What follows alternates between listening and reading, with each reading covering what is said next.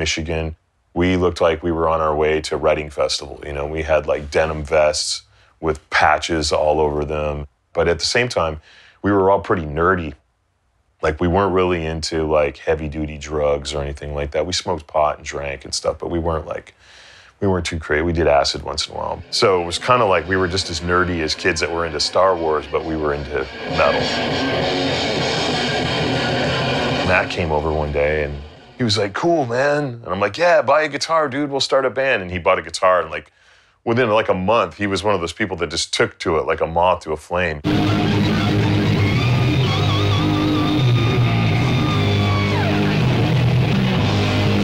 We found a copy of this fanzine called uh, Sledgehammer Press.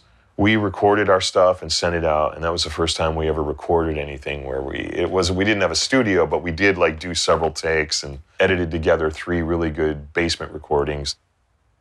That was the first lineup of the band, pretty much. That was where we started calling it Genocide.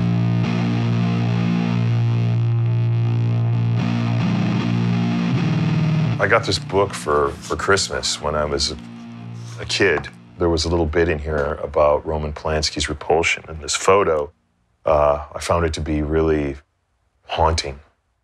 We started getting letters from other bands that were called Genocide, and you know, obviously, the name Genocide is a horrible name. I was like, cool, this is a good opportunity. We have to change the name.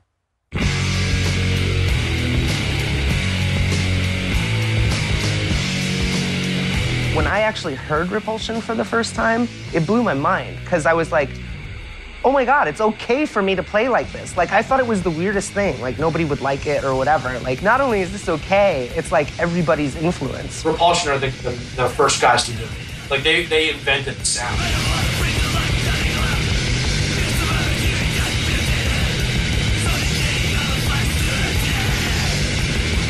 we went to a hardcore show and saw what it was all about and like found the promoter. They were really cool and they just took a chance on us uh, until we started playing really fast and then i think people just didn't know what to make of it. It didn't matter whether they were punk or metal.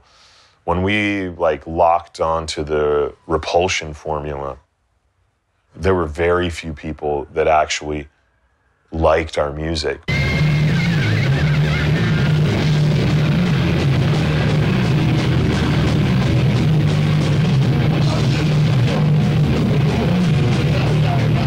So what happened was Matt and I went to Florida in early 85.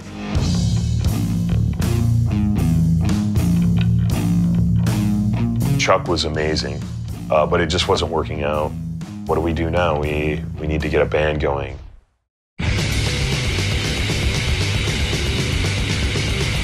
There was an article in the paper about a group of friends who had been busted for um, grave robbing. And one of them was uh, a guy named Dave Hollingshead, who uh, was also a drummer. We, we got him to start playing like speed metal sort of beats, like Slayer, but he had never done it before. So when you're playing like double time on the hi hats, he couldn't really do that, at least not fast enough to really, you know, blow somebody's head off. So we just kind of said, all right, just cheat. We used to call it the cheat beat. Hit the hi hat every other time as fast as possible.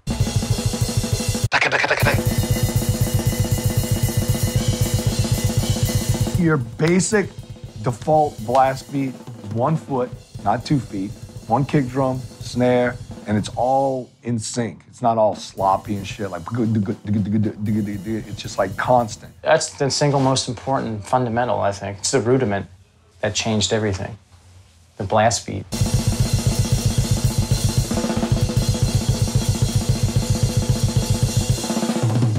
Oh, there's so many. There's the traditional blast, the alternating. You know, there's no cheating. Yes, I referred to it when I was a kid.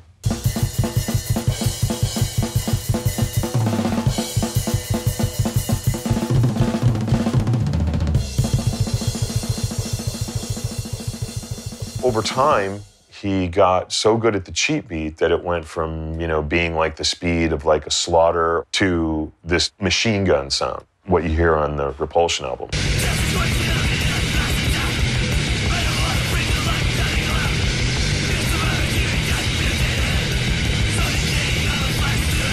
We were planning on releasing it as an album, but uh, we were very disappointed in the way the recording turned out.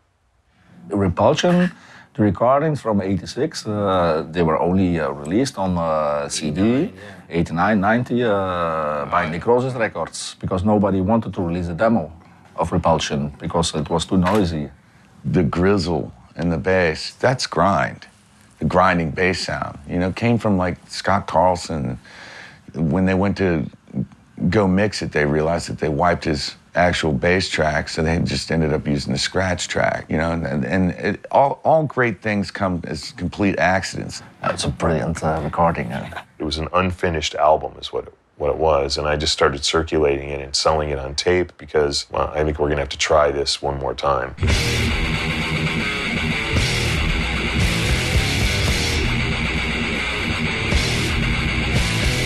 Flint, Michigan is, is definitely part of our sound.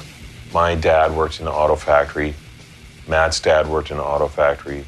Aaron's dad drove a truck that delivered automobiles made in the automobile factory to dealerships all over the Midwest. That's your future. Like you're going to be working in an auto factory.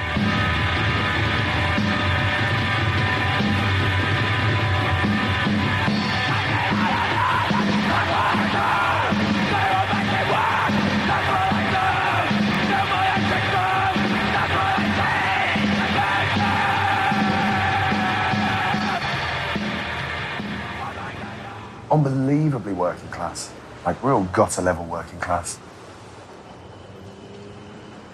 It literally was just tower blocks on the horizon and smokestacks and factories and the smell of chemicals.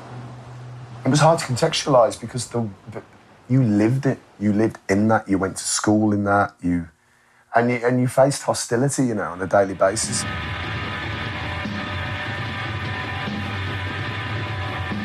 Initially, I was I was brought up in a, a house that was literally a, a commune, which was basically full of heroin addicts, which my father was one. As a seven-year-old, I was exposed then to like the Sex Pistols, the Damned, the Clash, the Stranglers, and I pretty much discovered industrial music purely accidentally. This is where I met uh, Nick Bullen.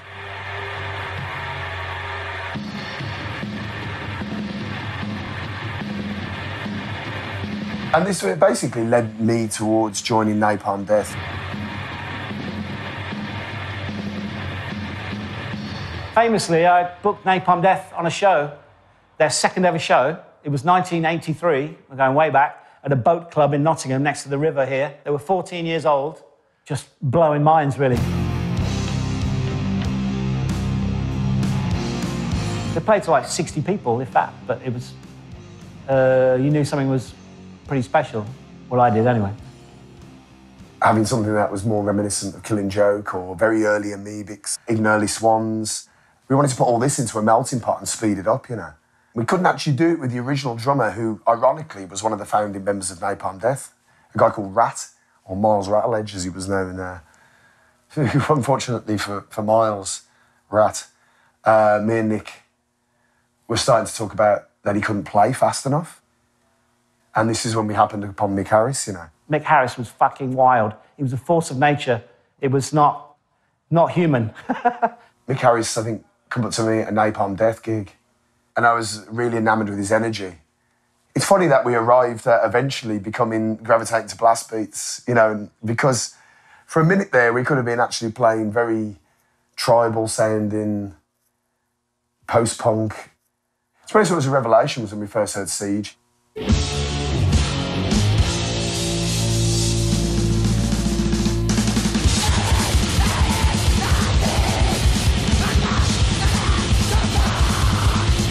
It blows my mind that bands like Napalm Death um, and uh, Drop Dead, uh, who you know got their name from Drop Dead, uh, it, the bands that good, you know, uh, call us an influence. It's a, it's very much an honor for that. A lot of bands achieve their speed through what drummers will call a cheap beat. They'll simplify the beat to make the music faster, but Rob never did that. Rob played the full British discharge beat only at a much higher tempo. He was just a really raging drummer.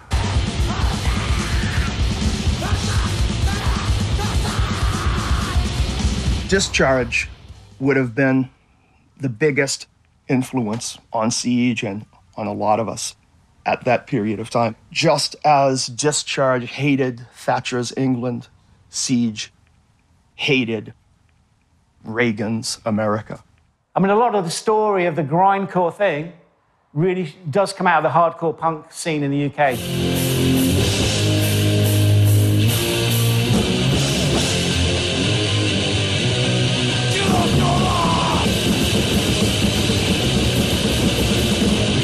The grind scene, I find it more political than the metal scene generally.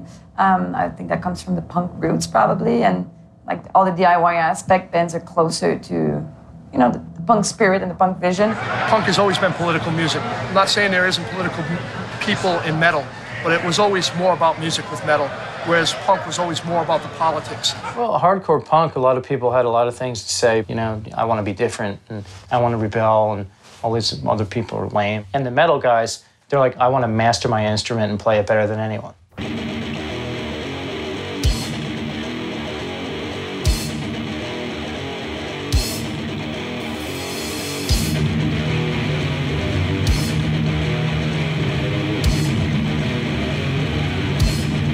The A side was recorded, I think, for a potential release as a split album. That was the thing back then. Justin basically gave me the tapes and said, well, sold them to me. And I'm like, right, but now I need the B side. Justin became a little bit disillusioned, but he was friends with a band called Head of David. He left, and they were their guitarist. And Nick Bullen actually asked me to play guitar. This is between A side and B side on Scum. And I said, yes, I'll do it. And I went back with them, but I kind of chickened out. You know, I don't know, I just lost, lost my nerve. And so the, the band went through a weird period for a few months where they weren't really doing much. So Mick Harris was kind of left on his own, and he recruited Lee Dorrian, Bill Steer. As Mick got a new lineup together, the idea was let's do another recording and have an A and B side. So that's kind of the way it turned out. It's two different bands. Mick Harris being the only constant, a bit crazier. I mean, they never rehearsed, they never planned anything. It's hard to explain how uh, unprofessional it was looking back on it. It was just a very fun outlet initially, but I didn't think it was going to go anywhere. I mean, even being in a band was a bit of a fantasy, really.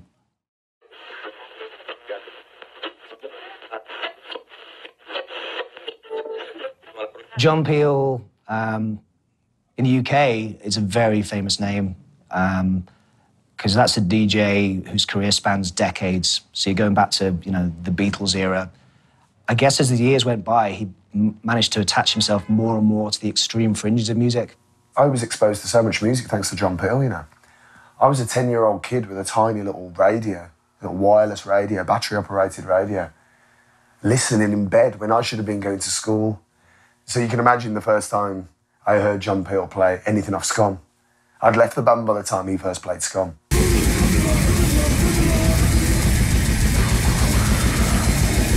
That very night, he played Head of David, and straight after he played a track off Scum, the side armour.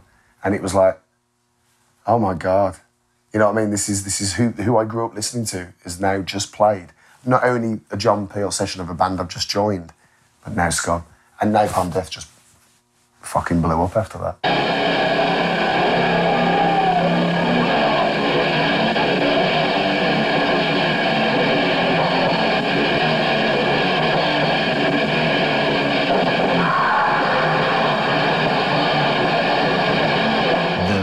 Momentum from Napalm was so rapid because of what he did for the band. Well, it's a very brave thing. I mean, you know, even nowadays when something's confrontational, people can people find it hard to digest. You know, but back then I think it was even harder. It, it was just hard to take in. You know, you're just a kid and your music's being played on national radio.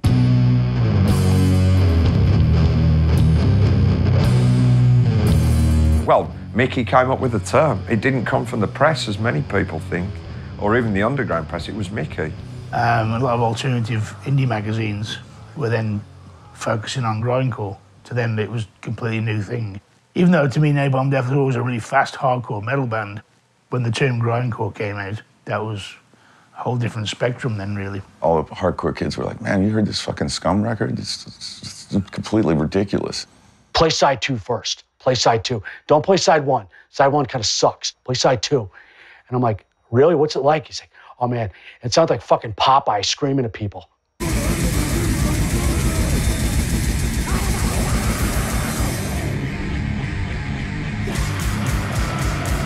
The sound was still changing, I think, at that, at that point. It definitely changed on the second album, but I'm not saying I was, I wouldn't say I was the conscious part of it. It was just going that way, really. And so the first thing I actually recorded with them was actually a John Peel radio session. I hadn't even played a show with them.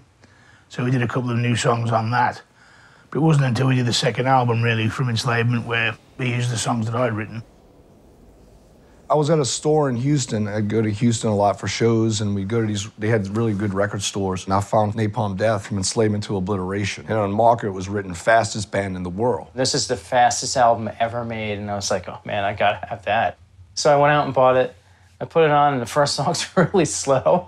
I'm like, this isn't fast, man. I, this, I'm not into this at all. Then right after it just kicks and it takes off for the entire fucking record. That second song kicked in. and It was like plucking in a Christmas tree.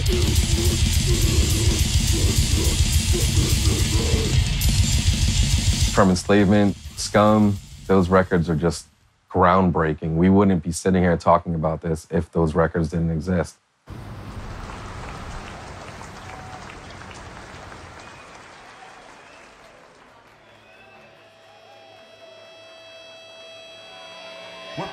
Houston, Texas. Let's fucking grind.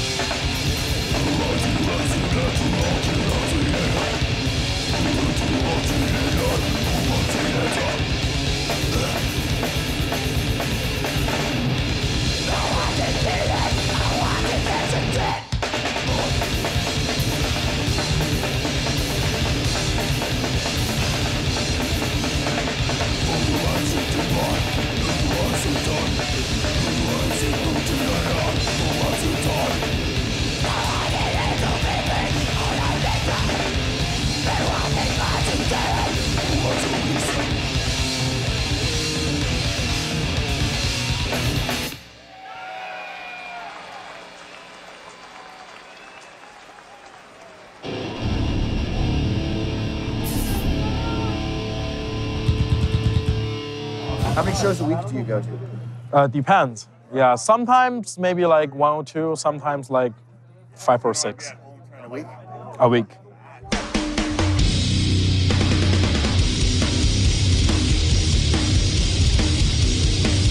Like when I first heard like insect warfare when I was like maybe 15 years old, I just I, I was like, wow, you know, that's the fucking heaviest shit I ever heard in my life.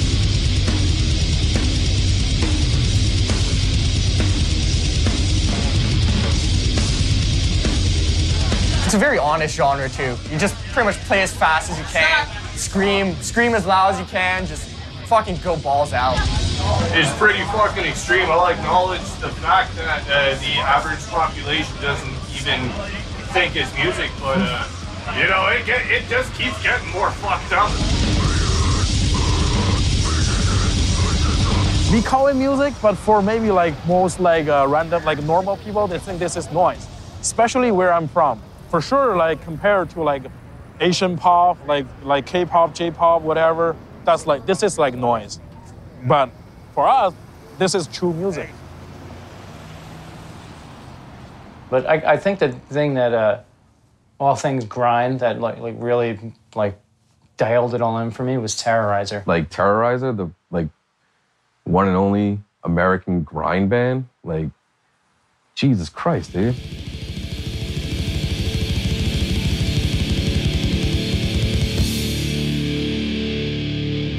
My original band was Terrorizer back in 80, 89. Back then, as kids, we didn't have much. You know, like a couple of pedals, which we, you know, a couple of pedals and whatever we had, and uh, just try to get the best sound out of it. This one guy used to come see us practice all the time, and um, he told us he had a drummer. Well, the guy takes off. Half an hour later, he walks in with Pete.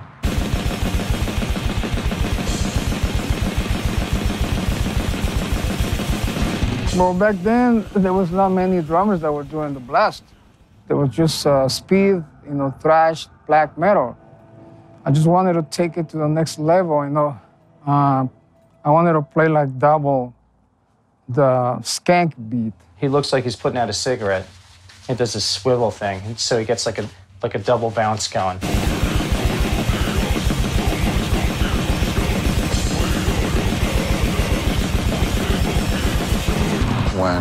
And Jesse heard that right there and then, we told him, well, do you want to join the band?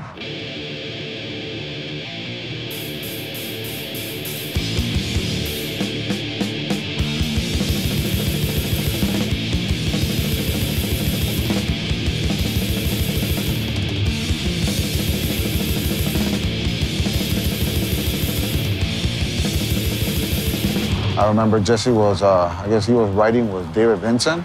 David Vincent was asking Jesse that where could they find a drummer like Pete? And Jesse gave him up. Jesse go, well, you could have our drummer. That's when Pete told me that um, David and them sent him a ticket to go to Florida. And I mean, I got pissed because he took off on us. And then Jesse already made his move. I guess he was gonna go play with Napalm. I was already already writing to, to Jesse um, for a couple of years before and calling him up at stupid hours of the morning because I didn't know what the time difference was between England and LA. I think originally he, he thought it was just for one tour and he ended up staying for, well, for many albums, you know. There was not a lot of interest in, the, in Terrorizer. And plus, these other bands were also were, were big bands, you know. Morbid Angel, they had like a, a beginning of a history. You know what I mean? So it was something cool, nice for me to join bands like that, and then with Napalm Death, another big band. So it was what was supposed to be, man. I don't really know what happened to Terrorizer after that, you know. Many years passed. It was just a one album by Terrorizer that was basically Ma- Napalm Death and Morbid Angel members. Because we were under a contract for two albums, and you know, with uh, Pete's schedule, real busy with Morbid Angel, and same thing with Jesse. I mean, we got close a couple of times, but it never happened. And you know, I wish it would have. Um, and did, were you in communication with Pete much at this time? No, I don't talk to him at all. It's just bad things between me and him right now.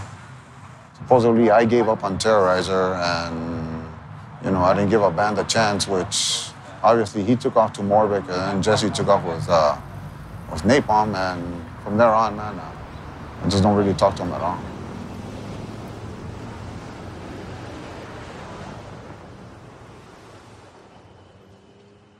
I did a radio show at uh, the uh, University of Ottawa, a metal radio show with a friend of mine, and um, I was discovering a lot of bands that way. And the way I got into grindcore was one day he put on Brutal Truth's uh, "Walking Corpse" from Extreme Conditions. It's such a classic song. The way it starts with like this tear, and it's like ah!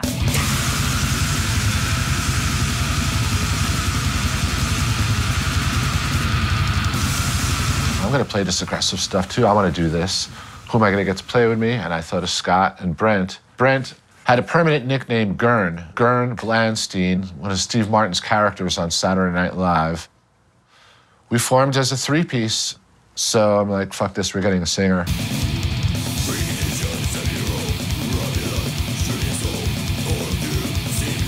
Kevin was just a scenester. He'd already gone on the Grind Crusher tour in England and everything, and wrote for CMJ College Music Journal. Me and Dan were doing something else, and then it, he, he got really tired of fucking doing vocals. I recorded something with a drum machine and had him sing over it. Some of those riffs actually turned into Denial of Existence.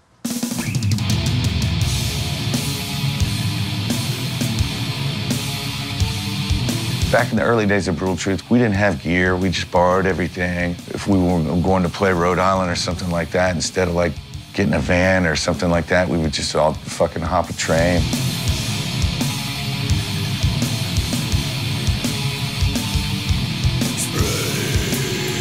I was hanging out with people like my friend Jim Welch, who at the time was running Earache USA. And all these bands were already on Earache, and we were friends with Jim. It seemed logical that that would be a natural la- label to go to. It just captured the attention of Dig that Danny Lilker was in a grindcore band, and they were, they were supposed to be fast as hell. I used to write for Maximum Rock and Roll fanzine in, in the States. I was like their UK correspondent, if you like. I dabbled with promoting. I didn't know at the time, but I'm a bit of an organizing kind of guy. Uh, you know, I, I tape traded with Dig back in the day, and also had a, a publicity job at the record label. I went from being a music fan to a facilitator, or whatever it's been called. That's what Earache did. We were facilitators, initiators. That's what I do. I'm like, I'm ringing bands up, get in the studio, do this. Quite forcible sometimes to do it. in the Earache history, when the American bands were getting signed, the, a bit of um, bit more professionalism came in. We started rehearsing a lot, writing more music, and that's when the whole speed factor came into being. It worked out good that we ended up getting somebody that had never played grindcore before because we were able to kind of mold him a little bit. Rich was straight up punk rock. He came from that Philly punk scene. So, you know, grind was absolutely new to him. I mean, uh, it was the kind of thing where like I joined the band and then uh, two or three weeks later we like went somewhere to like write an album and then right from that we left for a tour and then I played 250 or more shows a year for the next five or six years.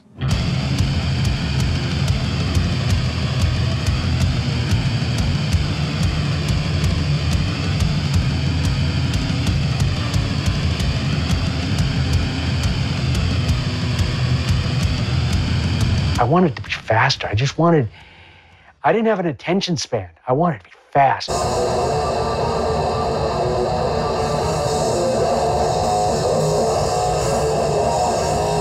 The intensity. Yeah, that's a better word. Intensity, not speed. You know, it's supposed to be like really intense. It actually is um, pretty much addictive, I think. You know, the, the adrenaline, you get more alive. I'm a huge adrenaline junkie, and it's just great to be part of this huge thunderous noise.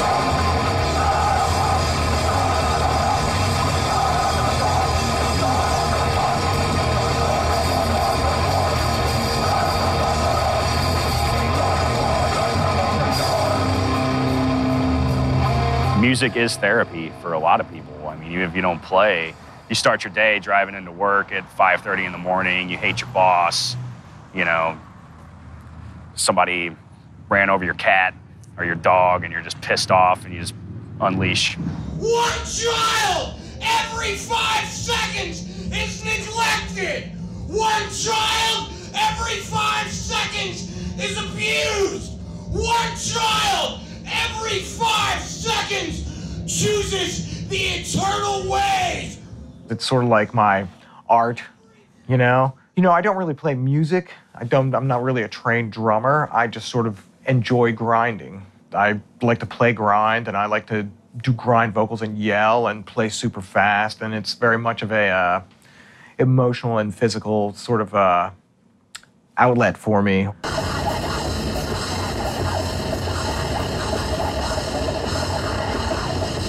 So many bands just do grindcore.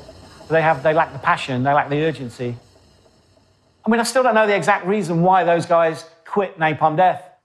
They couldn't really see beyond playing to like 60 people. in their minds, and in everyone's mind really, it was a small scene. How could it, how could it ever get bigger? But things happened so quickly. Six months in the band back then was like a lifetime. I viewed napalm as this thing that's just supposed to be very extreme, like a short, sharp shock. And I didn't really see it as having much longevity, um, which sounds ridiculous now, obviously, but that's kind of how I looked at it. Lee and Bill had left after a Japanese tour for various reasons. I was pretty devastated, really. But we knew Barney because Barney was in, singing in uh, Benediction. Shane and Mickey knew what I could do. We thought Barney would be a good person to come in because he had a lot of energy.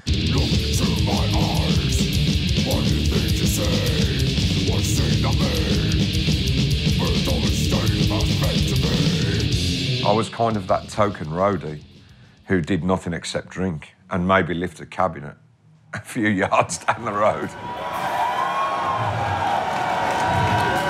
Napalm Death at your fucking service. This one, my friends, is about that person you know, those people you know who walk into a room, manage to hate everybody, hate everything. Napalm is a paradox, as are many other bands of this ilk. We have very, very aggressive, extreme, violent sounding, which is the important part, music.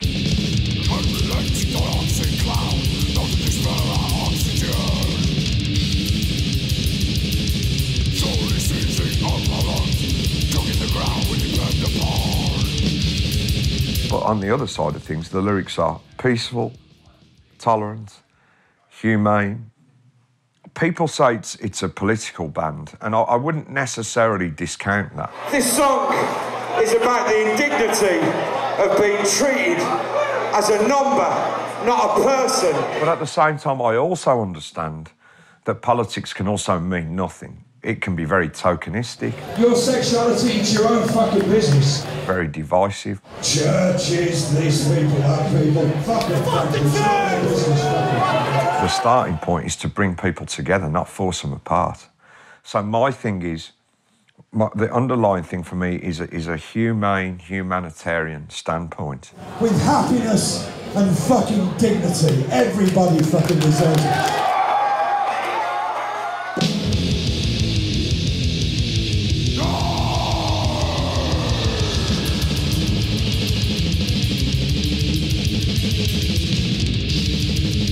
This kind of music was always really integrated with like giving a shit about things. And i think that's kind of uh, says something about the general you know attitude.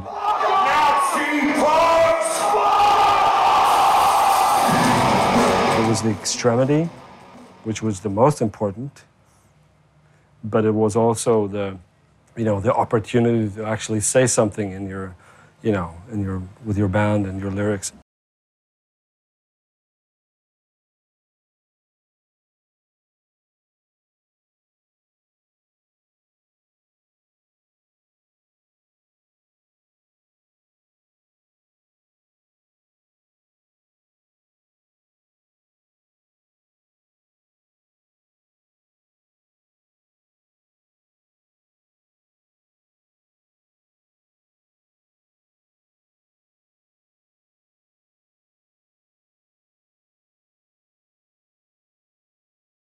I saw that shirt. That's your band. You're in a band called Anal Cunt. And she was crying. And I'm just like, I'm trying to justify it. I'm like, I got nothing. I got nothing. I broke my mother's heart. This sucks. I didn't mean to do that. Fuck. Oh well. Shit. There I am with hair. Like an asshole. This is my favorite. I fucking hate that cover. So stupid. This is the Unplugged album. 88 song EP, original. Mike pretty Mike pretty much um, paid for this. Mike Mike was the only one of us who had a job that made money. He was a he was a press operator at like a at like some like print shop. And I think Seth pretty much convinced him like, all right, so you give me like two hundred dollars a week and we'll get this record out. I was like, okay, here.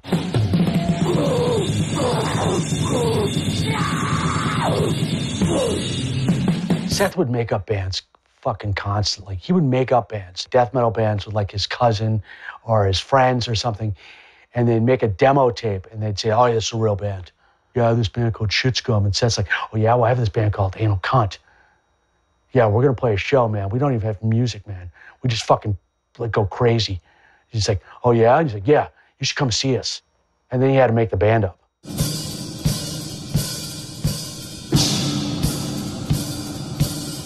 Our first show ever was a rehearsal. And we played in front of his mother, his two brothers, Easter Sunday. No joke. And I remember his grandmother just looked at us and says, You guys are going to get yourself killed if you do that.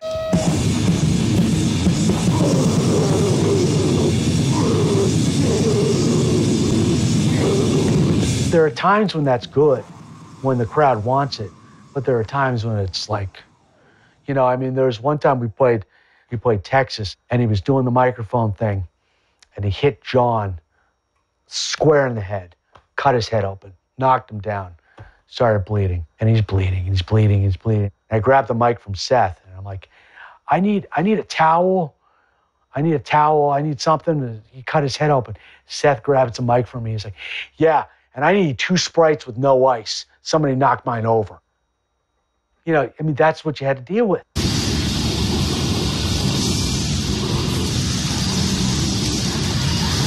I never listened to my, them myself.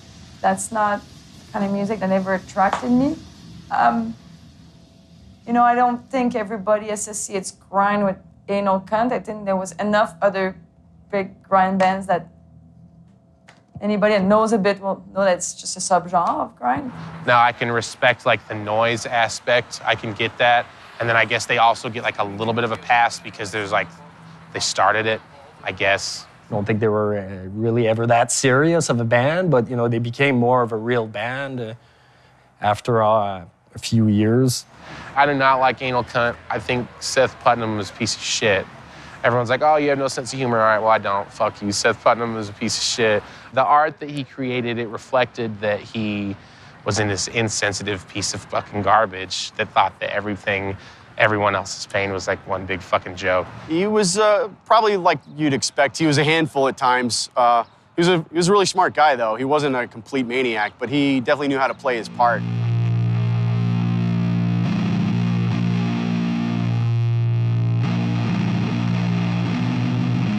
I had already gotten tired of, of, of the gigs and, and traveling because I was the only one that could rent a, a vehicle, and I was the only one that had a car, the only one that had a credit card.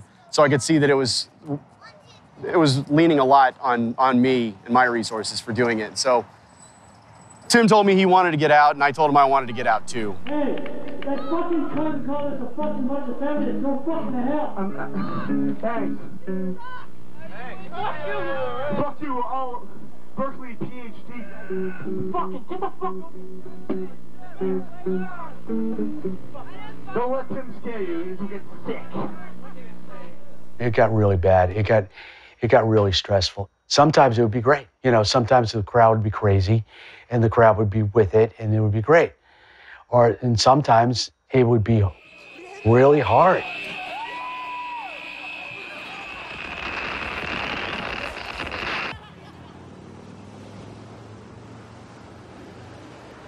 Yeah.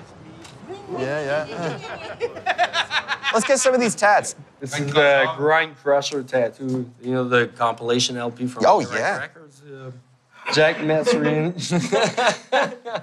Besides that, this is Agathocles. This is the uh, really old school thing. It's like Channing, Channing. This is what the best. This, this is a typical uh, kids uh, show here in Quebec, a classic show from the 70s and the, the 80s. Uh, every, every band from the crew, you know.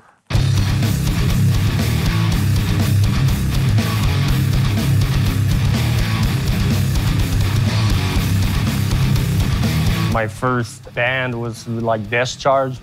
It's more like a noise project that's still going on today. We- I started that like in 1990 with the chainsaw.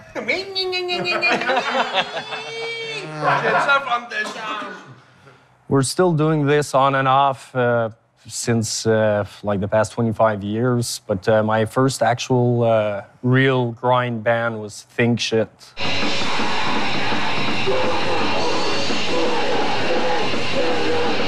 I met Fred uh, in school and uh, we started messering like in 1997.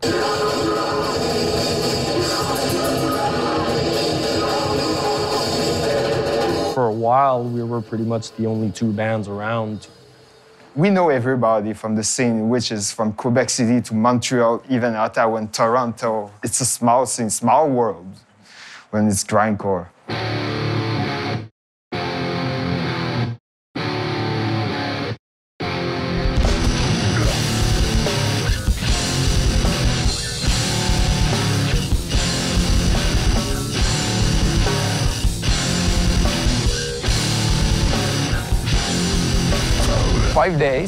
Know, starting Wednesday, finish like Sunday night, 17 hours of music.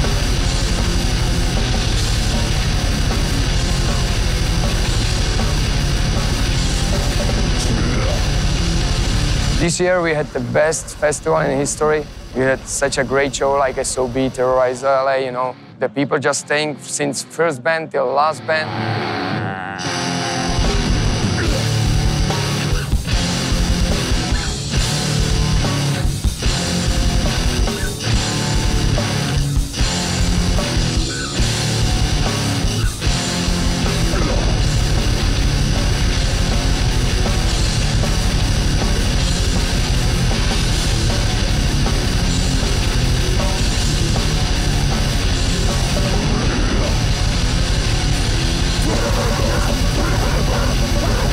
What's the scene like here? scene like here, and a brand new mix of like metal and punks that just coming together, doing a show, man.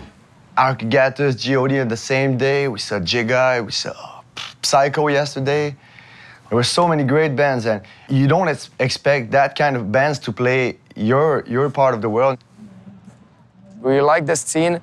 We like to give the chance, you know, to play really big stage with massive sound, even for the bands no one knows. Because I think you always come to the Obscene Extreme for big names, but then you are surprised with the small one.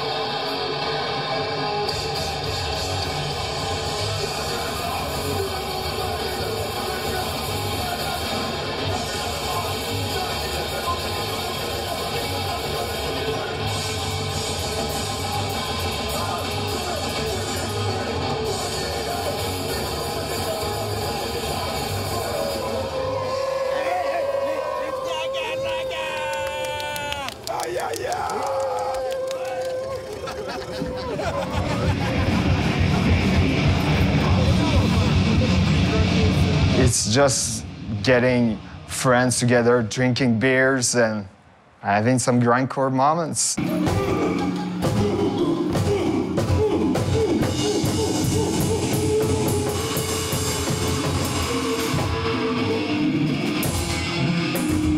There's no riffs. It's just like you do whatever the fuck you. you- There's no real patterns.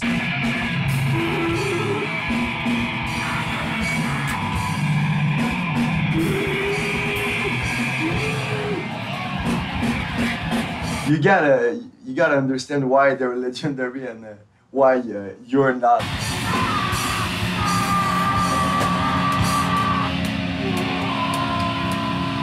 You're playing uh, Noisecore in 2015.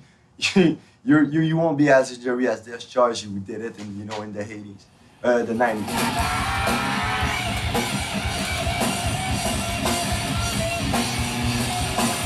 sort of like a joke too, you know. It's you do it for fun, you know. You can't take that stuff serious, you know. And yeah, I think if you take noisecore seriously, you're a bit fucked, you know. So, uh, What is happening? What is what is going on here? This is just the greatest stuff in the world. Nobody knows how to do what they're doing, and everything's great. You know, how is this not? How is this like it? It's reinventing music and not inventing anything.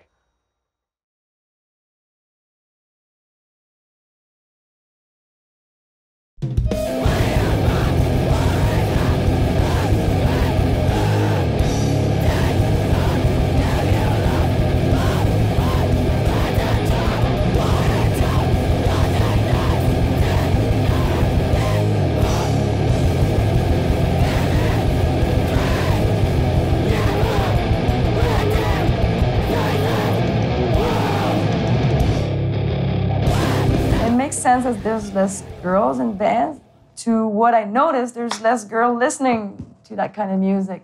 To me, I'm someone in a band, I love music, I scream. That's it. And I never overanalyzed it. I never felt, um, you know, I always felt comfortable. You know, we're all metalheads, so we, we kind of already have that attitude of like, fuck you, you can't tell me how to live my life, right? It, it comes with the territory. Like, so I think that allows people within our community to look at me and go, awesome, she's doing her own thing. She's not letting people tell her what to do. And so then, therefore, there's like a lot of acceptance that at least I, I feel I receive. I don't, I, I haven't felt any negative responses, even though I've seen them on the internet, right?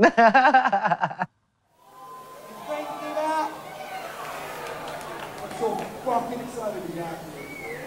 God, this is the best season. Taking hormones doesn't change your vocal cords. It doesn't change the size of them. Like once they're shaped, they're shaped. That's it. So you could get a surgery to change it, um, but it's wildly successful. So the way I learned to change my voice was by finding a female vocalist who was within my range that I could sing, and I would put her CD on in my car and sing along with her. When it comes to doing vocals, um, I'm kind of a strong believer that you shouldn't change the vocalist of a band if you can help it, um, because there's a lot of character in that.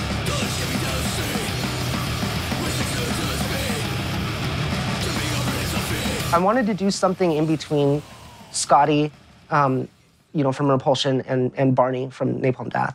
I got to hang out with Barney a lot, and we were talking about his, his vocal delivery and that it's really hard to mix him because he, his vocals are so like projected that they just clip everything, right? Um, and I was like, that is fucking cool. Like, I want to do that.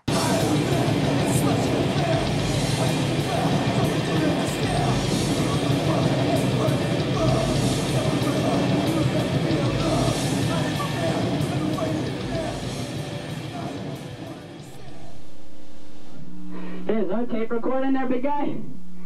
All right. Whew.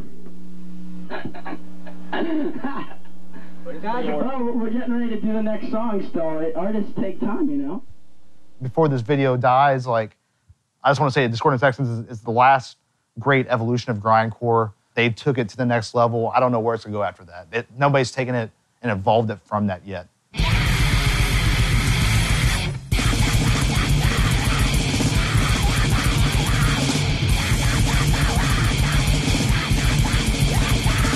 I was going for noisy and uh, and fast, and it sometimes it would it somehow it always go toward after that go towards like a melody. Um, like I, when I when I listened to a lot of music that was trying to be extreme, it was like missing the hook. You know what I mean? Something that takes you somewhere. Like I like music that takes me someplace. I don't want to just listen to it and have it wash over me. You know, I I want to experience it somehow.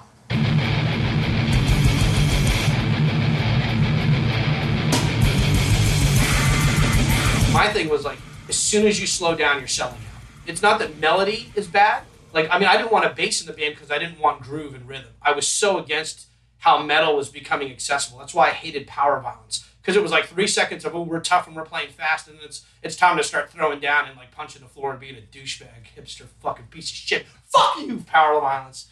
Fucking still get so angry about those people. His lyrics were very personal, but very negative in some aspect. Yeah, a lot of people thought we were really pretentious because we didn't follow the same guideline that everyone else did. I mean, the last album was a shot from my front yard at a beach in the sky. I thought it was cool though. I, I like that was the one thing I always strive to be a little different than everything else.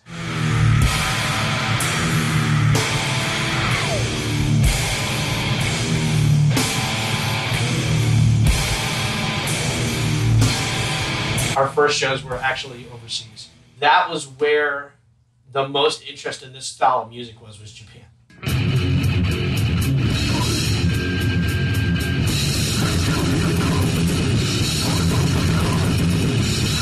What I liked about Japan and every other band that played, it was like the, the last show they were ever going to play in their lives. Every note and every, you know, sweat, blood, and tear People just went for it. You can try to sound Japanese, you can't sound Japanese. It's, just, it's the way their equipment is, it's the way the rehearsal spaces are set up, it's the way their shows are set up. It's just a different vibe.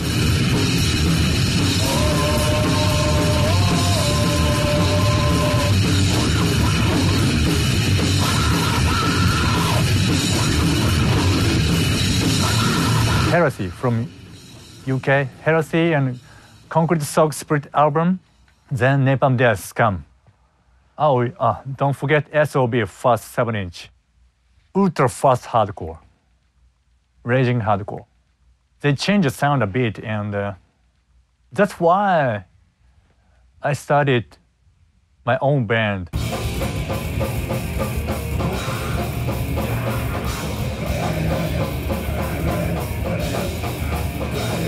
When Unholy Grave started back in 1993, there is no grindcore scene. How many people showed up is not so important to me, you know?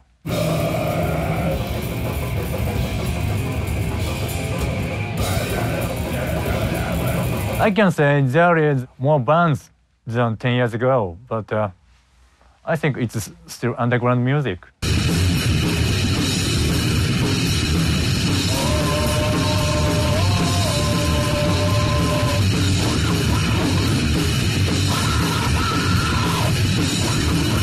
Warsaw, we were like just leaving the country a month out and back in, and then again, and then to Japan a month out and back again. These bands like Piss Christ, that's the old style touring where you hook up in a van and drive across Europe.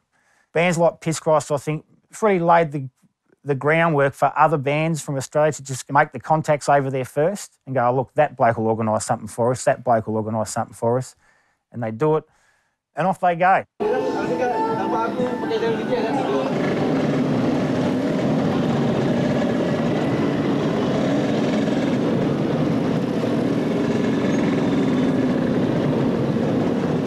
Australian bands going to Southeast Asia. Apparently, it never happened until Warsaw did it in the 90s. And then, uh, since then, heaps very popular for Australian bands to go and tour Southeast Asia. I'm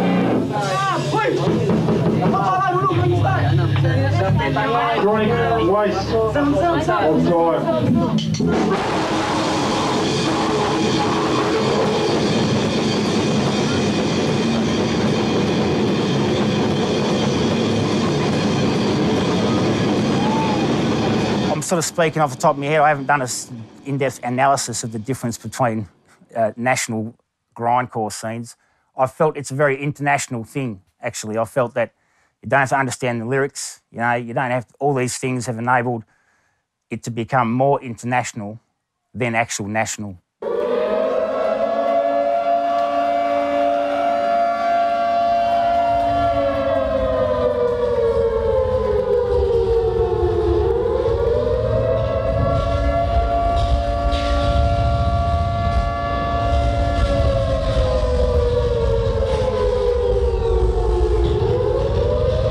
Nasum had a hook. They'd fucking throw something in, you're like clicking with that. I got it, I got it, I got it, I got it, I got it. You know, if you can get that hook and you can just go, hit it, do it.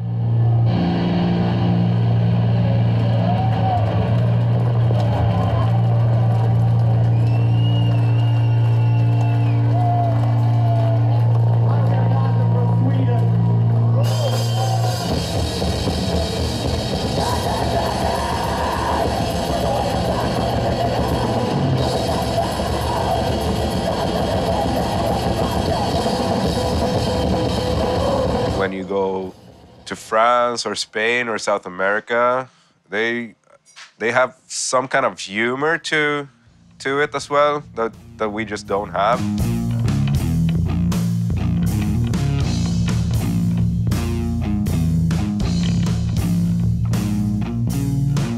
I'm Anders. I'm the founding member of Nasum.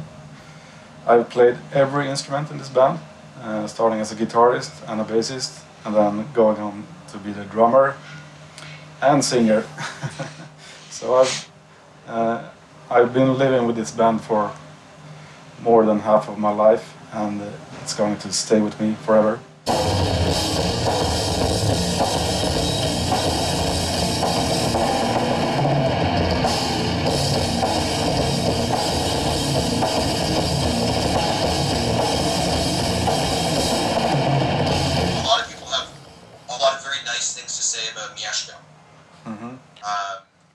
Because he's dead. Um, so I was wondering if you could talk a little bit about him. For one thing, Mieszko would have hated to be a legend. People have asked me for photos of him so they can make a tattoo of his face. And I say, don't do it because he would have hated it. He, he had a, like this really brutal sense of humor, which would crack me up all the time. Yeah, I was I was taking a shower and I had this uh, indie pop record on, really loud, and it like the, the music would get blurred out by the showers. I could only hear like the bass frequencies, and that made me think of this riff. And then he went out of the shower naked and started like playing, doing an awesome riff off of that.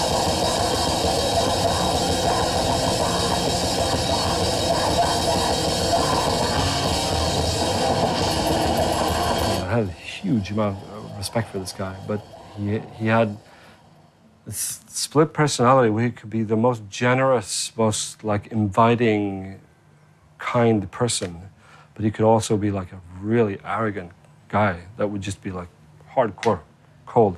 That sucks. You suck. And I really enjoyed and feared those qualities in him. I didn't really know him. There are a lot of other people that know him much, much better and have have seen another side of him that, that I never saw. Our relationship was so much concentrated into to, to Nasum. And that was fine, I guess. But it, it um, doesn't mean that I miss him every fucking week. So.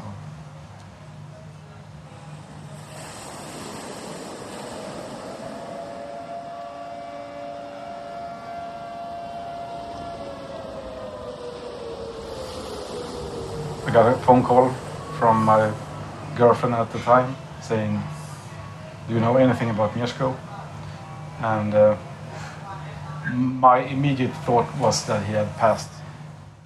I don't think he had like a week of that whole year. He had been working so hard that he really had to go on this vacation. And and it's just you know, it's just not fair. Mieszko's sister went down to Thailand to search for him. She didn't find anything. Mieszko's girlfriend was in a mess. All the bones in her body was broken and everything, so Well, It was quite a strange time because you never expect a band member to die in a natural catastrophe. that doesn't. I, I mean, someone can die out of the blue in a car crash or whatever, but by a fucking wave of water. like the month and a half before his body was actually found after that, and how it was such a it was in such an insane outpouring of, of you know support and, and empathy. It's indescribable how how much people cared about this grindcore singer in some band, you know. I, I try to remember him as a, as, a, as that the really lively person he was.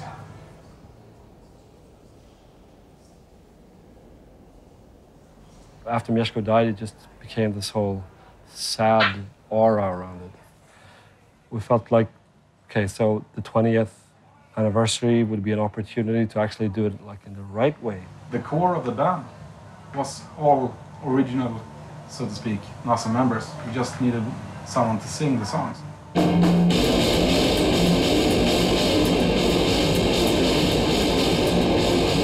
Before the show, he called me up and asked if I want to do it, and I was like, yes, right away. I obviously wanted to do it without understanding how difficult it, difficult it's going to be.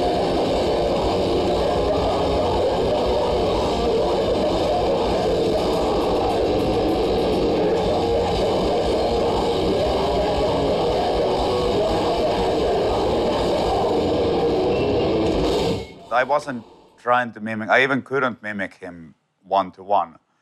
And I was kind of throwing in some of my own things, which were feeling more natural to me.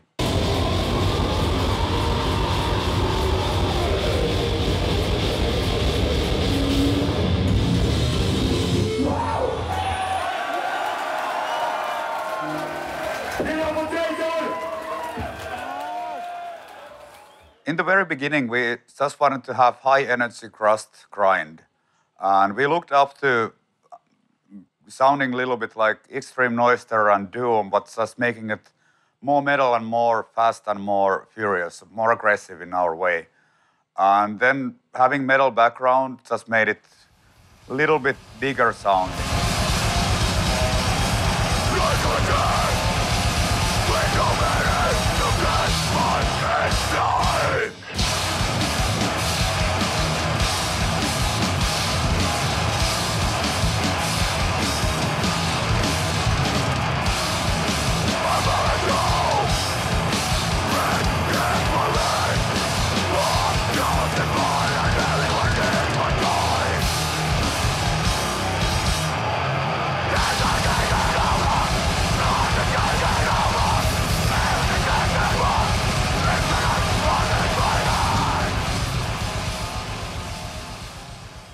By the time the mid 90s had rolled around, Earache had diversified to the point where they were maybe losing the focus on what bands put them on the map in the first place.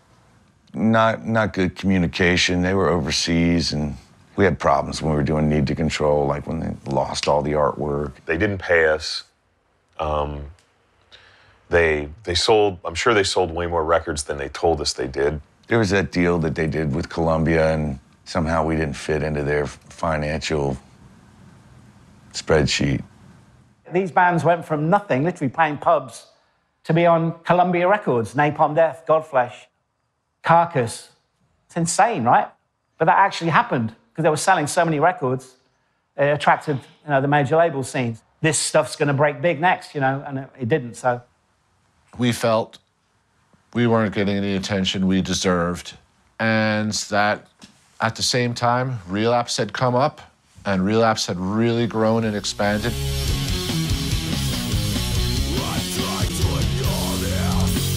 Relapse has always been good about that. They've been on the forefront of bringing like a lot of extreme stuff, like what Misery Index, Pig Destroyer. I mean,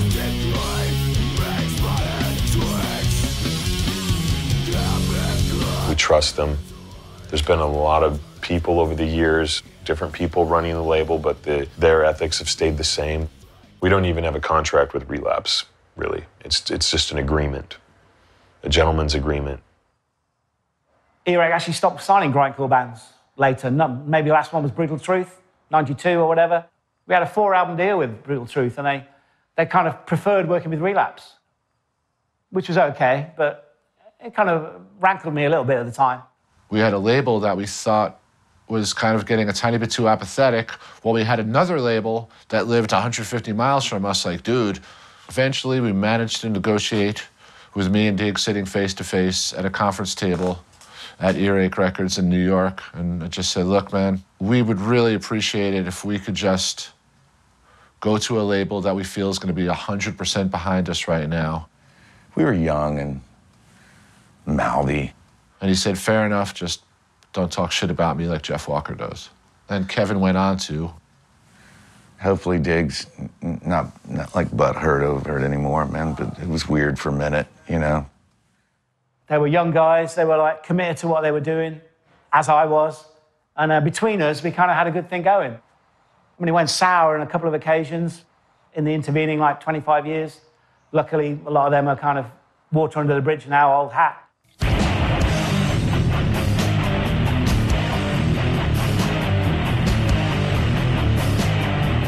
So, uh, how can you guys split up?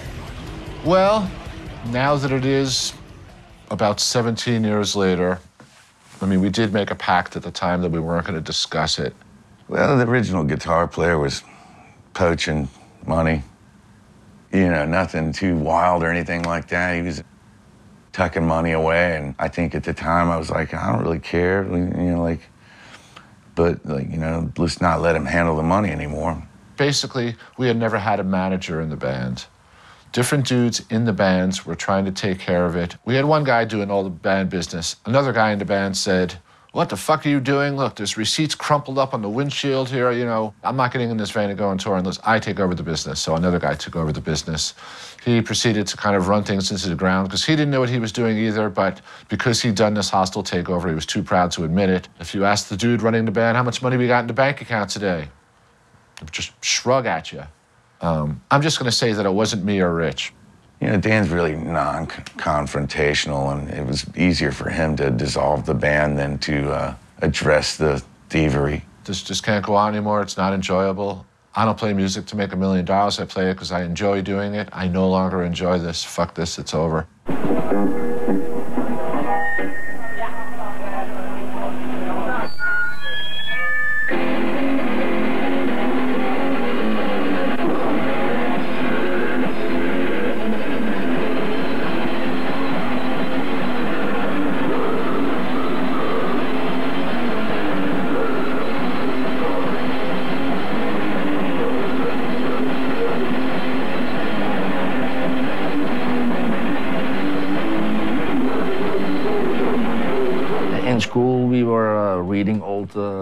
Greek uh, texts. In one of those texts, I found uh, the name Agathocles.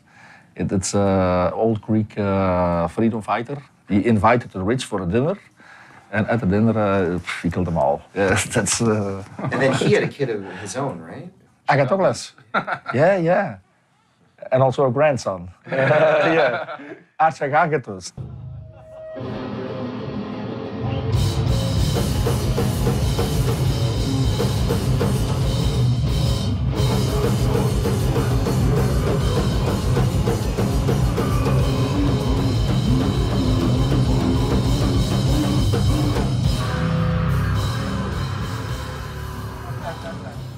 Archagathus is a descendant of Agathocles, the Greek tyrant of Syracuse. But also, our name apparently in Italian translates to where did you shit? We've been told Archagathus. Um, translates to the old great one, I think. old great one. So we don't really fucking know.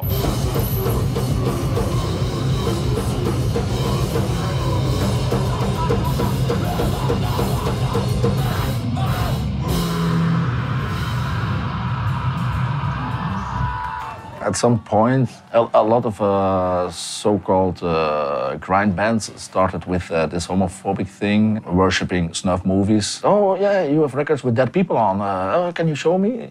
You know, and that's totally not what we mean with grind. Mincecore was supposed to be just like leftist political grindcore, you know, no fucking homophobia, no sexism, no racism, taking a stance on all that. And uh, I don't know, I've always associated it with having a really old school kind of sound too.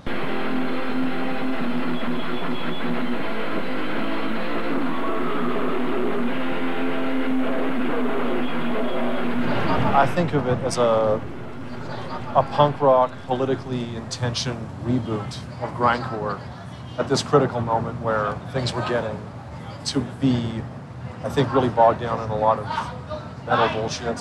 I think it's like just intentionally avoiding metal attitude. I think Mincecore was a response to like metal guys being like, "Oh, grindcore, yeah, that's about like hating women and our you know bad riffs." It's about Yeah, it's, it's punk, man. I don't know, it is political, but it also is a sound, I think. It's like second generation, you know, kind of Mincecore. I was born around the time Agathocles was like doing some of their first records, some kind of silly father son thing. They worship your band. You know, like this, like in terms of sound, right? Like that's. Uh, they do it uh, uh, much better. They- they do it- they do it much better.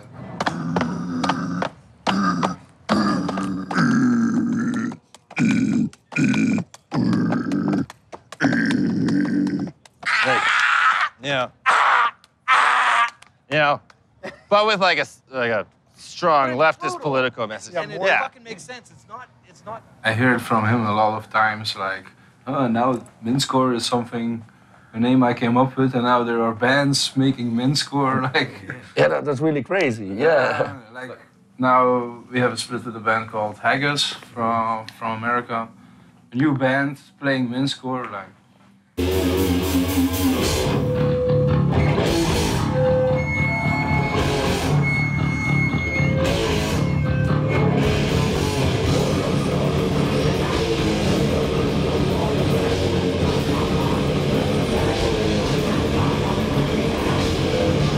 grind is just nasty. It's guttural. It make it sounds like they're fucking throwing up. Fucking chainsaw just ripping through people, and the vocals are all.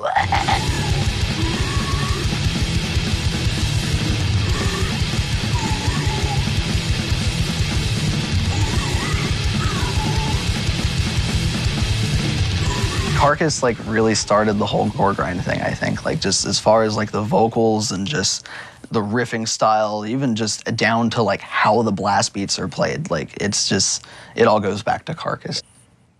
I'd started Carcass uh, or attempted to in '85.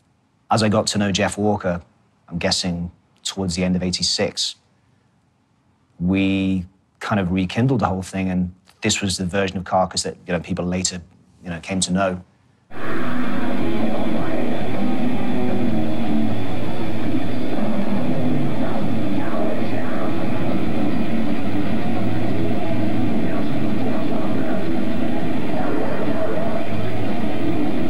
Jeff had accessed some, um, they were kind of like textbooks for students, you know, students of pathology. And I think he just cut out tons and tons of stuff and then created a collage.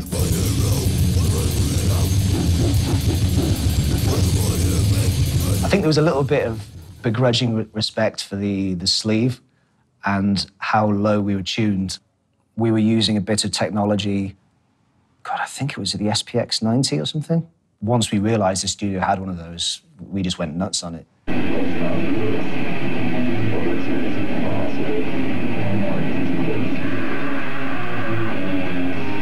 Use like a basically an effect pedal to pitch his voice down like at least an octave, maybe like two, to make, give it that kind of like, kind of quality. It it makes everybody sound the, like the most brutal thing on earth, as long as you know all you gotta do is yell into it, and it makes you sound like a monster. More of a kind of a fantasy element, I think, to it than, uh, and I don't mean fantasy like swords and Conan and shit.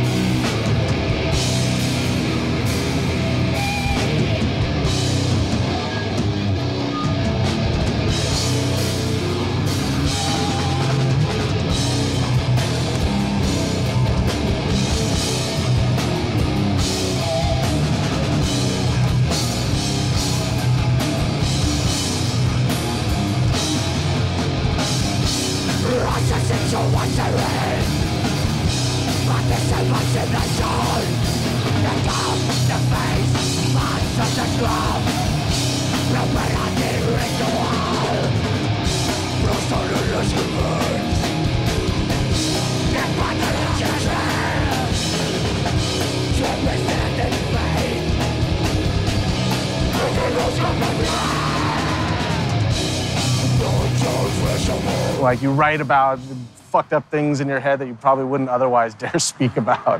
There's a difference between like a band that like talks about murder, talks about death, talks about something, talks about bleak, dark, scary, fucked up shit. That's one thing.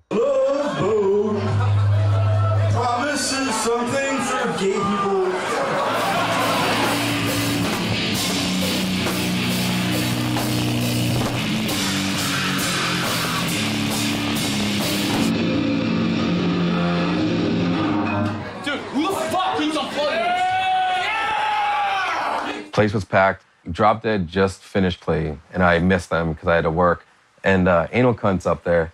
Give a hand to Drop Dead for saving the world with their lyrics the last nine years. If it wasn't for them, the world would really be a really Republican kind of place. Seth grabs the mic. He starts walking around the stage. "Ooh, I'm Bob from Drop Dead. Blah blah blah. Don't eat me. Blah blah blah. All right, I'm Bob from Drop Dead now. Hey, violence is bad.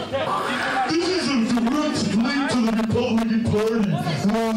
Violence is so bad. The band went on stage and more or less um, insulted the audience. Is that the guy who beat up Same fucking guy!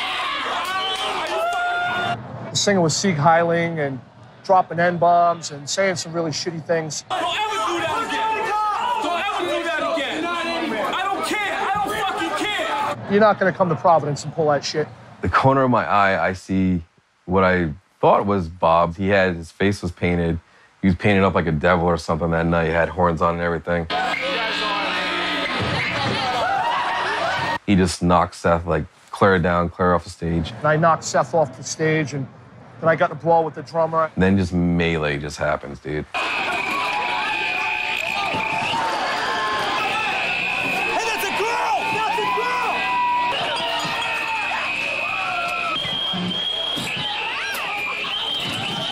I ended up getting arrested. My brother put a couple of those guys in the hospital. It turned into an ugly thing, and a, a riot happened, to be honest with you. You go to jail with Seth that night? Were you both? Uh, no, he actually pressed charges against me, saying that I assaulted him, and uh, and I, I guess I guess I did. to be honest with you, uh, you're not coming to Providence and Sieg Heiling, man. and it's not even fucking happening. Who said we're a bunch of Nazis? Who complimented us by saying we're a bunch of Nazis? There was a big, big problem with skinheads back in like Boston, Providence area, New England area. And anal cunt always attracted the skins. Did you ever attract like skinheads at your shows? I think so. They don't know grind, they don't know anything about it, but they love that, you know, all the songs and stuff, you know. Hitler was a sensitive man. There you go. It's a new song. It's called Even Though Your Culture Oppresses Women, You Still Suck, You Fucking Towelhead. If we did, I just fucked with them. They'd be like, oh, you know, you know, they they kind of like, "Huh, huh, huh," and I'm like, no, I'm making fun of you. So why aren't you making? You, I'm making fun of you. One, two, three, four. Towelhead! Towelhead! Okay, you got. Oh, they're, they're racist. They're this. They're that. I can tell you. I can assure you. Seth was never a racist. I was never a racist. Mike was never a racist. Fred was never a racist. Polly was never a racist. John was never racist.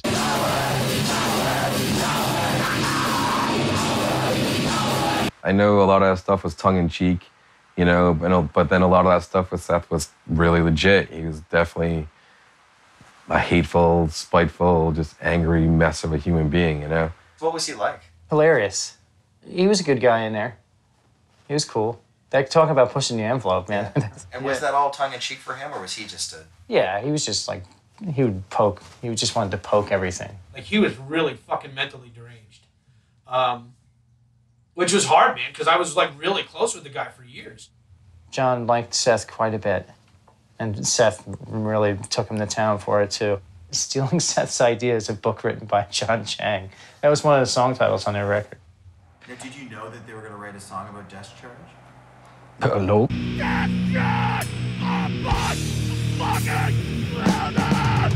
That set put them in the into their guest lists, and there's a bunch of losers. That that was the other kid. This is the guy. To my knowledge and to what I remember, Seth's favorite bands of all time were Negative Approach and the Village People. He loved the Village People. He saw the Village People uh, more than 30 times.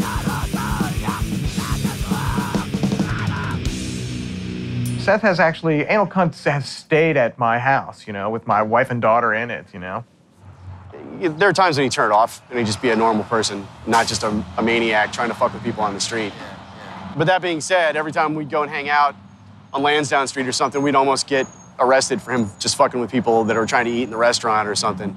Did he get arrested often? On stage? No. No. Off stage? I don't, I, no comment on that one. After the shows in Philly, or at least after one of the shows when we were on the way back to the house, he was like, How's the show, man? I was like, That's pretty good. What'd you think? He's like, I don't remember anything of the shows. I don't I, I don't think he like remembers the shows that he did, you know? Like I don't think he could come off stage and be like, Oh, that was good or that sucked or whatever. I think when he came off, he had no idea what was going on, you know, blacked out. The last time I saw Seth, it was at some club in New York, and Seth's mom was there. And uh, after the show, we were we were all hanging out, and uh, Seth asked me if I'd met his mom before, and I said, "Yeah, no, I, I, I grabbed her out of the pit. Like she she was getting killed by these kids. They were just crashing into her, and she was like this frail woman. She's like five foot nothing. So I grabbed her and pulled her out so she would stop getting clobbered. And and he freaked out, and he's like, "I'm gonna fucking kill you." And like everybody in the room just sort of stopped because he wasn't joking. And I remember what he did to, to Terry from Grief. I mean, he hit the guy in the face intentionally and knocked out half the teeth in his face. Man, even his mom was like, Seth, you know, what are you doing? Calm down. Why are you upset? And he just like, he, he was insane. I heard later on he went out and got crack and got like high that night. Um, like ended up sleeping on the street someplace. I mean, he was a really fucking disturbed guy.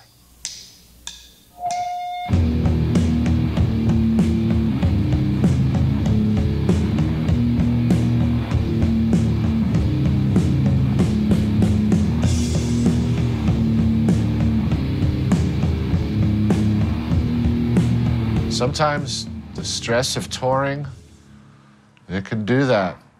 Used to be the full time thing because Misery Index toured, you know, some years we do 200 plus shows in a year, and that was like the life, you know. I'm glad we don't do that anymore, to be honest. Hurry up and wait. You know, show up, load in, wait around, play, pack up, get going. A huge thing, you know, is like drinking. Bands drink like crazy because you're sitting around all day. There's beer, you know, there's nothing to do. You just slept somewhere and it's the biggest shithole you ever slept at in your life on tour. We do sleep at people's houses and not at hotels because we can't afford hotels. And you wake up in the morning and your whole body from inside out is dirty. It's it's not what people think it is. You know, everyone thinks it's this whole fucking drug orgy and that sort of thing. And, you know, it's a job. You know, like any other, but it's just a little different. Whenever someone asks me that, do you guys have other job? My jaw always drops. Because how could we not?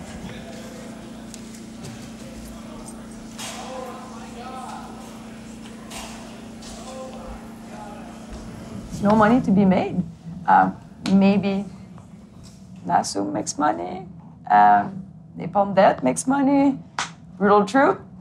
Except that, like you're lucky when you pay your your your gas and your van payments. You know what I mean? Like I try to do everything I can, as much as I can, but I'm borrowing money from my friends to print T-shirts. I'm borrowing money from my wife.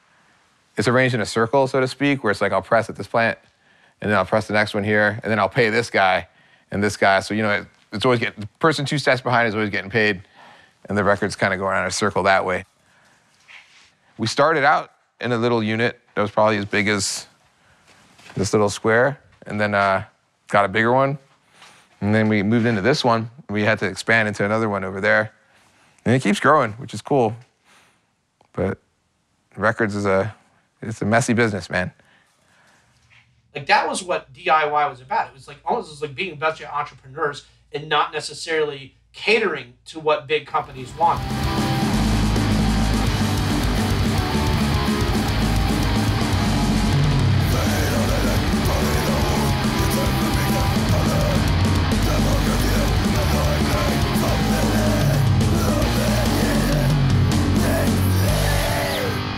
Of course, DIY goes a long way. It can be also a lifestyle in, in many other ways. We interviews, fanzines, spread your flyers. Getting the recordings, sending it to get mastered, getting the artwork all together. we cut all the covers and we made it multiple layers with inserts and all stupid stuff. Tour manage ourselves. We try to produce everything, coordinate the merchandise. We book the flights. And back then, you could count on people to actually buy your records. Like, you know, if they were interested, they wanted to support you because it was a DIY thing. They recognized that the kind of content you were making would not exist unless you did it. You don't need uh, big stupid labels uh, who rip you off by big contracts and blah blah blah. Try to keep everything in your own hands. Uh, try to work with people uh, you've created, created a network with. It's possible because we are doing it, and, and we get our shit released everywhere.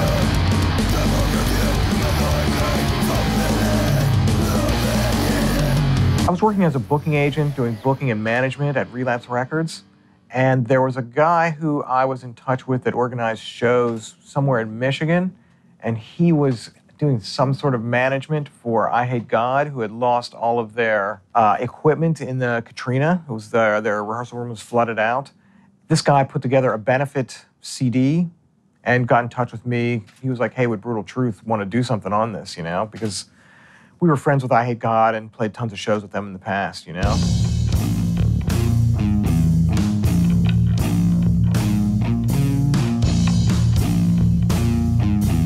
We got together, quote unquote, just to record that, which I think Gurn plays on. Gurn came back and, and played, and his chops were just rotten. So it didn't really work out. But we decided we wanted to do it anyways. We tried this other guy, Jody, who'd done some stuff and killed a client and stuff, and he was okay. But uh, Burke was more of a fit.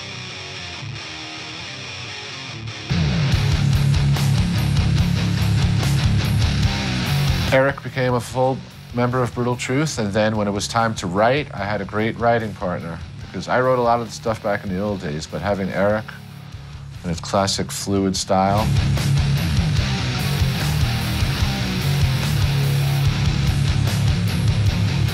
Two records I did with him are fucking awesome. I lo- I'm very proud of him, and I and I love him. You know, so it was uh, it was definitely a good a good feeling. I feel fortunate to play for three of my fucking favorite bands. You know, Will you please welcome Mr. Erik Burke,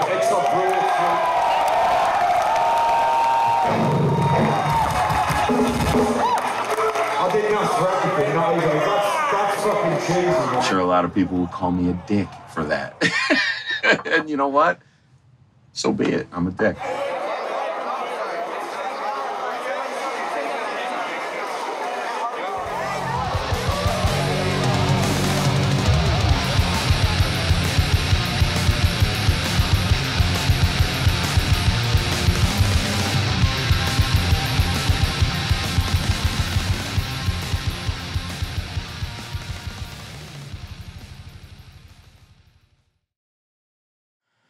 He was a really good friend of mine. Um, we were like brothers, really. Four of us lived in the same house. There was me, Danny, Jesse, and Mitch. Lived in the same house. You know, we went out, drank, partied. And Jesse was was a very good guitarist. He's a very classical guitarist as well. Jesse was one of the nicest guys ever, you know. Mm, Apart from being one of the godfathers of grind. Like anybody, you have perhaps corners of your personality that you know you don't show everybody. He never drank really that much when he came to England, and I think um, you know when when you're young and especially a young American moving to England. I think- But I think towards the end there was just a lot of stuff going in his head with various things, and he was drinking a little bit more than perhaps he should. I can't, I can't pinpoint to the exact thing that was going on towards the end, but it, it just it got very intense.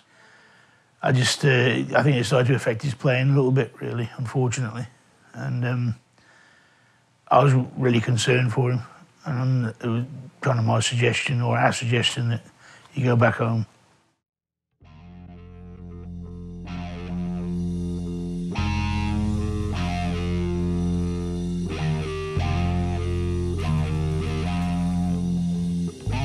I spoke to him a few times on the phone and saw him a couple of times and wasn't quite exactly the Jesse that I remembered, unfortunately.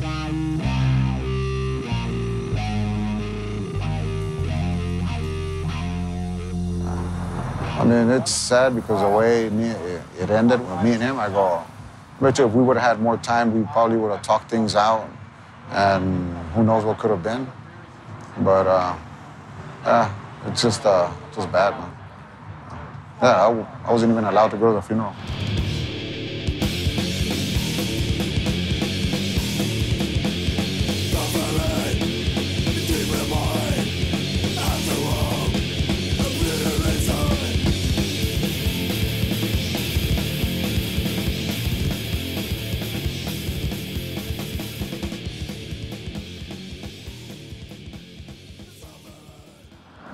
Oh, well, that's what you get. You fucking asshole. And then he died. LOL, I guess. It was kind of a weird thing when he did die because we have some friends that are like, yes, Seth Putnam's dead because he's a total piece of shit, and other people that are like, oh, that's a bummer, you know? So I, I would hate to be stoked about anyone's death, you know? I don't think that's a really positive way to approach things. I don't want to like shit on his memory, but like, uh, yeah, he was a fucking scumbag, man. I mean, he was like a real backstabbing piece of shit in the end of his life. I don't know what the hell happened to him. Seth was a good guy. I always enjoyed partying with him, enjoyed hanging out with him, you know? Fucking tragedy that happened, you know?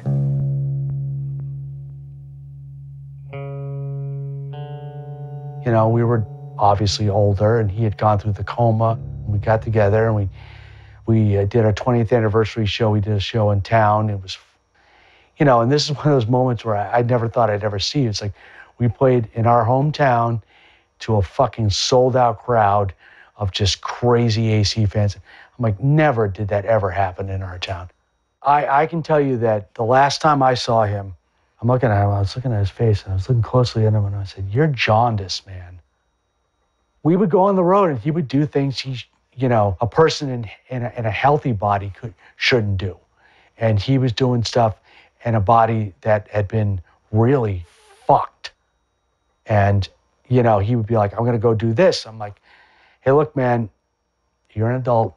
You can do what you want. I can kick and scream all I want, and I can't do that anymore. When, when uh, his wife called me, I was not surprised. I was disappointed.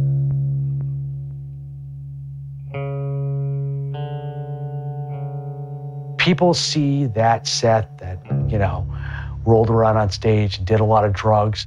I know a guy that he and I would sit and watch movies all day or watch The Simpsons and fucking eat Chinese food and talk about goofy stuff or play music or, you know, that was, you know, is my friend, you know, and that's what I miss, you know, I miss that guy, you know, and it just sucks.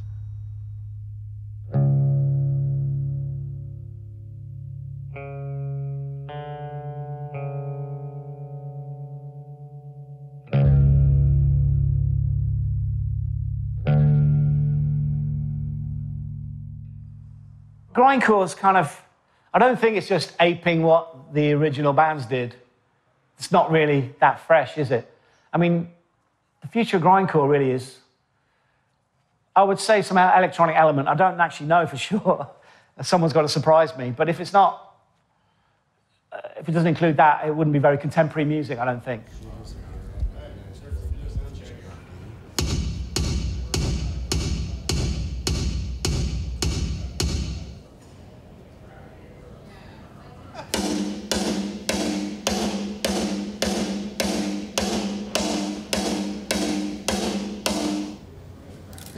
For a while it was a studio band.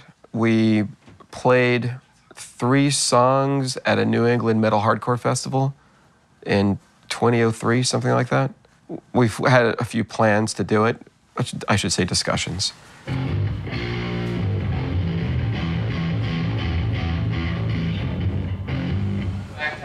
Feel good? Back to audio. Is this your stage getup? Two, one, two, two, check!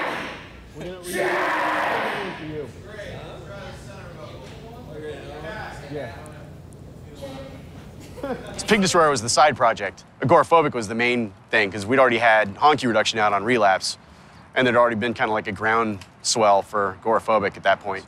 And was there ever a thought of having a drummer for Agoraphobic, or was that always the? Yeah, I mean, we always kind of didn't really want a drummer, but we did entertain having a drummer, and we actually I practiced with Dave Witte a couple times in the uh, early '90s.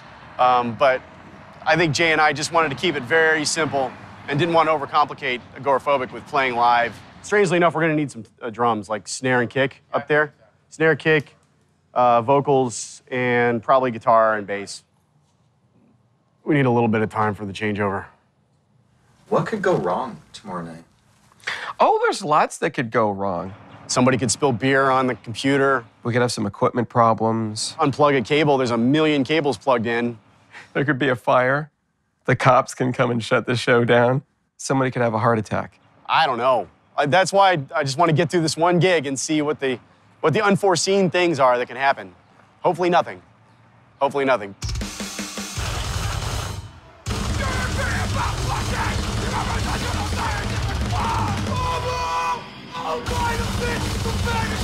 Get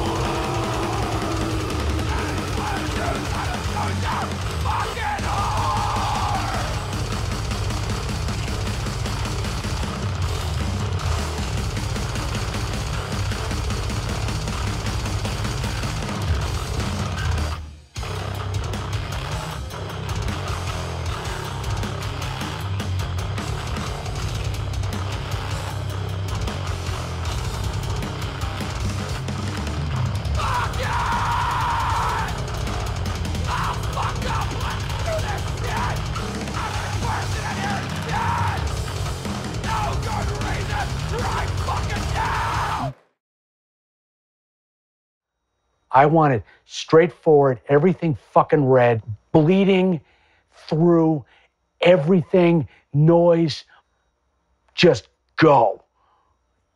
You know, code red. Hit it.